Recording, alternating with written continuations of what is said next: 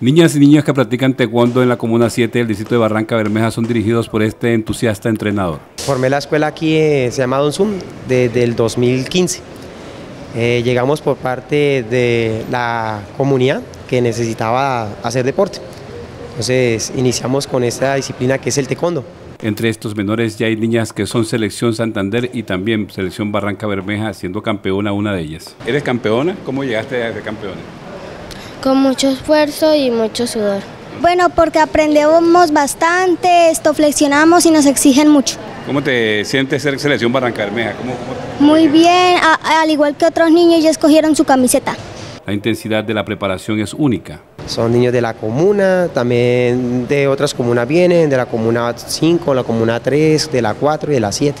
Las prácticas tienen lugar en el Salón Comunal del barrio 9 de Abril, Comuna 7 de Barranca Bermeja.